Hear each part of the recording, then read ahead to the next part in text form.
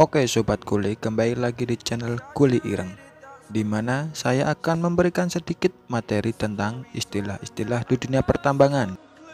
Oke, untuk mempersingkat waktu, langsung saja kita mulai dari yang pertama, yaitu yang pertama adalah AMD. AMD singkatan dari Acid Mine Drainage. Maksudnya adalah pengaliran atau pengaturan aliran air asam tambang. Istilah AMD adalah proses pengaturan air asam yang terdapat di area pertambangan. AMD sangat diperlukan untuk mengetahui letak air asam yang ada di sekitar tambang agar tidak mengganggu proses penggalian. Yang mana kita tahu bahwa air asam mampu merusak alat-alat pertambangan yang membuat proyek menjadi terhambat. Karena itu AMD sangatlah penting bagi sebuah pertambangan. Yang kedua adalah fleet.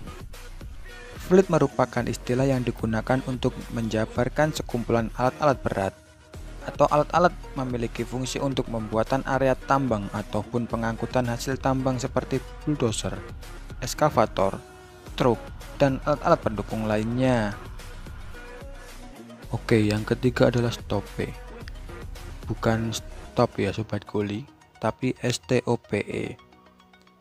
Stope Istilah ini biasa digunakan untuk ruangan dalam area pertambangan yang dipilih dan digunakan untuk proses pengambilan serta penyimpanan sementara batu bara.